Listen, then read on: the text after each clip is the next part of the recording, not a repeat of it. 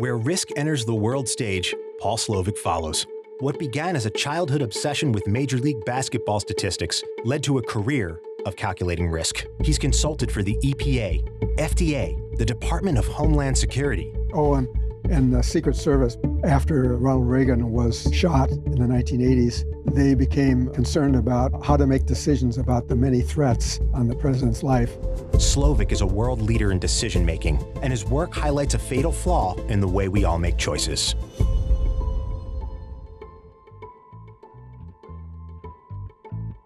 In the 1970s, theories of the global economy rested on an assumption that when we make decisions, we rationally choose what benefits us most. Seems sensible enough. But common sense was being turned on its head at a psychology lab in Eugene, Oregon, where Slovic had created a mock casino game.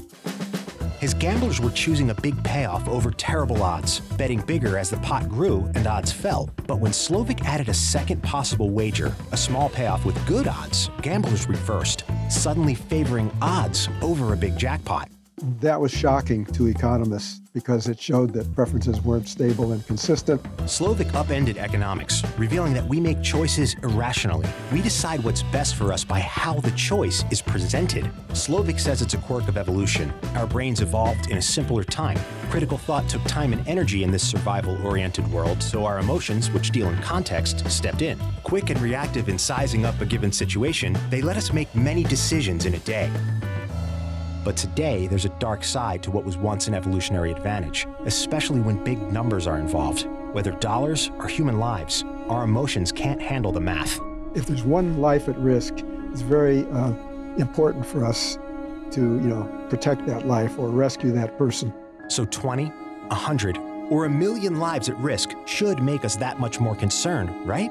It doesn't. In fact, Slovic's research shows the opposite is true. Take his study on genocides like Rwanda in the 90s. 800,000 people were killed in a period of 100 days, and the world was tipped off in advance that it was going to happen.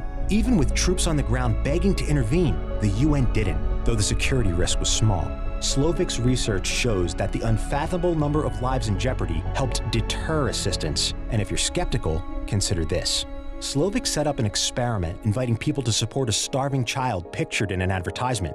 People donated, but then he added numbers to the flyer. Next to her face, we put the statistics of the fact that there were millions of people starving in her region, and we thought that would boost the donations. It had the opposite effect. The donations dropped in half. Stunning revelations like this underlie an uncomfortable refrain in Slovic's research. When numbers grow, our brains simply can't process the scale. We become numb. There's no reason that that life should become less important just because other people are also at risk. But that's how we operate. Slovic's research scientifically implicates irrational decision making in how we respond to the grim projections of climate change with inaction, and how during the pandemic, preventative measures fall off as the death toll rises. The good news is, we're not powerless to curb the effects. Awareness is the cure. Slovic has committed his life to spreading it. We have to deal with uh, these things, and it starts with decisions. It involves recognizing that our feelings are useful, but we also have to temper those feelings with logic and reason and pay attention to scientific thinking and you know, other careful analysis, as well as how we feel about things.